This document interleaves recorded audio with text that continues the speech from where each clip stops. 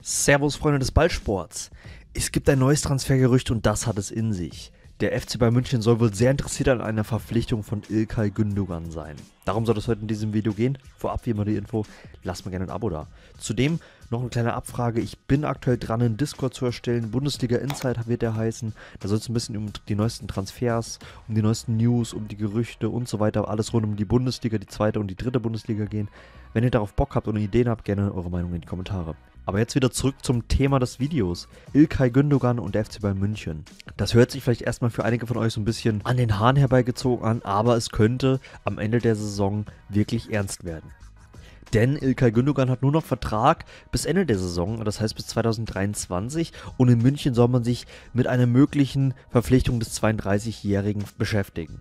Das liegt wohl nicht zuletzt daran, dass Gündogan wohl sehr offen und interessiert wäre an einer Rückkehr nach Deutschland und da kommt eigentlich fast nur der FC Bayern München für ihn in Frage, denn er ist mittlerweile zu einem der besten Spieler der Welt aufgestiegen, das kann man denke ich ganz klar so sagen. Er ist Mannschaftskapitän der Citizens und spielt eine tragende Rolle unter Pep Guardiola.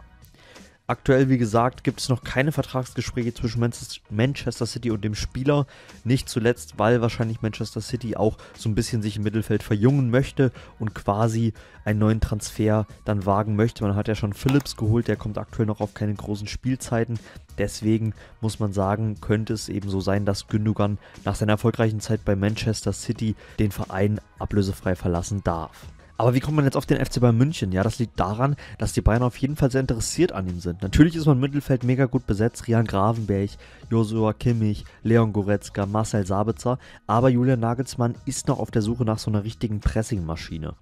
Und da lange galt ja Konrad Leimer als Topfavorit, der wird aber jetzt immer wieder auch mit um zum Beispiel Liverpool in Verbindung gebracht und der Österreicher bringt natürlich nicht so viel Erfahrung mit, wie das an Ilkay Gündogan tut.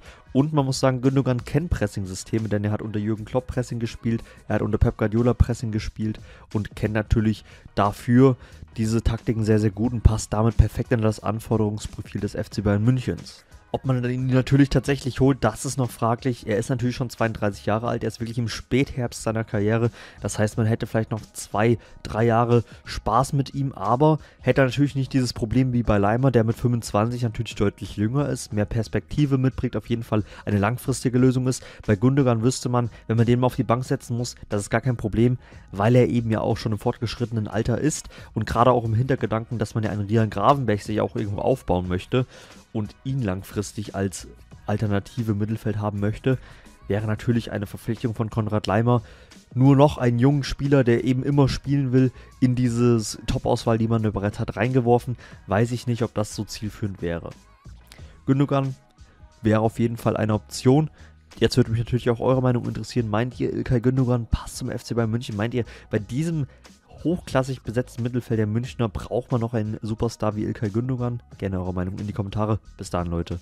Ciao.